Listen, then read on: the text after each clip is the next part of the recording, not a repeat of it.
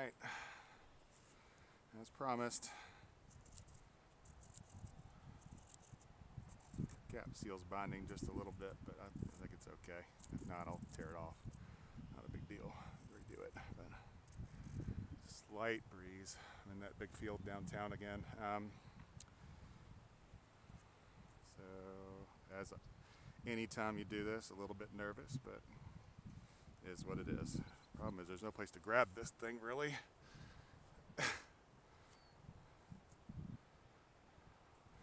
Two, three. All right. Okay. Tail heavy for sure. Tail heavy. And I forgot the fishing weights.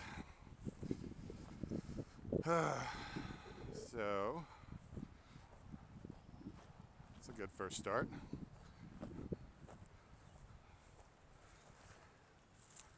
Not too bad. No peg here, guys. Doing it whippet style, side arm only. There's an extra little bit of fiberglass on the tip here. Just don't think it's necessary. As small as this thing is. Ended up 74.5 grams. Looks like I'm gonna have to add a couple of pinches of lead to the nose when I get home. But uh, yeah, you know what? Screw it. Let's give it a try. It's no launch mode. Oh, not bad. Not bad at all. Yeah, tail heavy. I'm having to, I'm having to push the nose over to get it to go anywhere. Oh, uh-oh. Well, that's cool.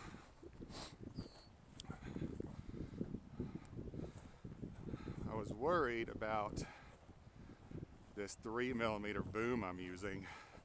It's got quite a bit of flex and torque to it. And I was really worried about it moving the tail around too much on launch. But it seems to be okay. That was no launch mode, kind of went straight up. I don't think it actually needs launch mode at all. I think it's probably going to do a loop if I do that. So I'm to leave that off. But the boom seems to be okay. The only reason I chose that is because just about every other nano I looked at through history has used something really thin like this. You can see it moving around in the wind, but I mean, shoot. I, I was going to go to 5 millimeter, but that would have been way too heavy. Would have added 20 grams to this thing total with the nose weight needed, so there's no way. It would have been closer to 100, which is no bueno. It's 75 grams. I think we're pushing the envelope here of being a little bit too heavy. But uh, yeah, let's try it again. Two, three. Oh, this thing launches great, actually. Oh, it's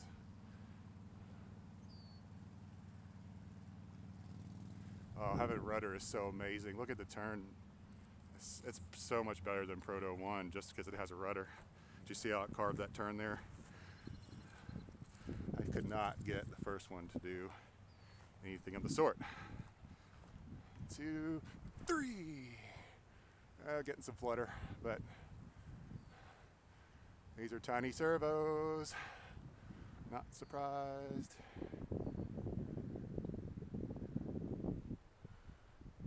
Oh, tail heavy for sure. Yeah, maybe at least half a gram in the nose, maybe one gram.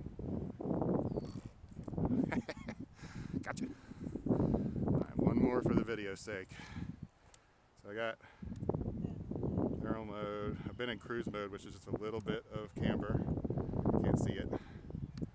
Haven't tried speed mode, not necessary. Cruise mode's good, I think, where I got it. It's about two millimeters of actual camber in it, but it makes this flat bottom airfoil a little floatier. So I think I did a decent job setting this thing up. I'm not gonna try landing mode right now because I don't think we need it on this one, but even though it's there, as you can see. We don't need that though. So light, this thing's a feather. Um, all right, two, three. Oh, it's gotta be 60 feet or more, 70 feet, 60 feet or so. Not bad for a sidearm little. It's better than any whippet I've ever seen a video of.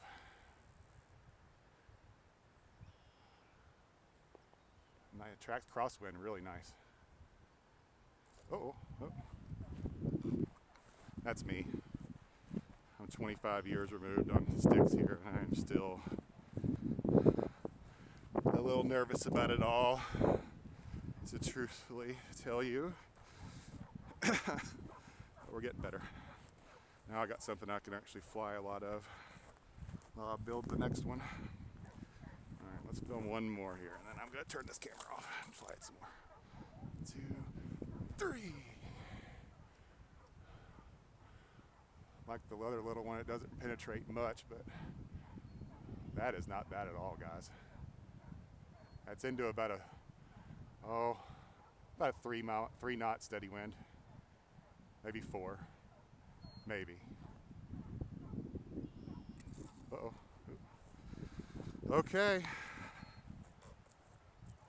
I'm gonna call this successful. Y'all have a good rest of your day.